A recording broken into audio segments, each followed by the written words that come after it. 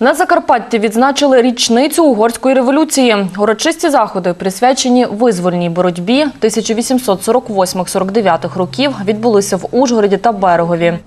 Там угорці Закарпаття поклали квіти та вінки до пам'ятників письменнику революціонеру Шандору Петефі. Буржуазна революція, яку називають угорською весною, розпочалася 168 років тому. Вона стала національно-визвольним рухом угорців за незалежність від австрійської династії Габсбургів. А пізніше переросла у війну проти Австрії та її союзників. Як державне свято цей день почали відзначати в Угорщині після розпаду Австро-Угорської імперії у 1918 році. Відтоді щороку, 15 березня, угорці по всьому світу вивішують традиційні триколори.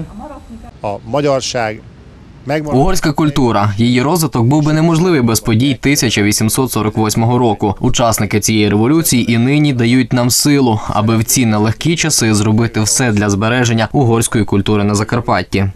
Összefogva tudunk. Тільки в єдності ми можемо існувати. Дуже важлива свобода, яка рівнозначна право говорити, навчати угорською, мати політичні права. Це найважливіше. Також не менш важливим є виховувати в молоді національну свідомість. Молоде покоління повинне розуміти, що це їхня земля, і вони мають надалі зберігати угорську культуру на ній.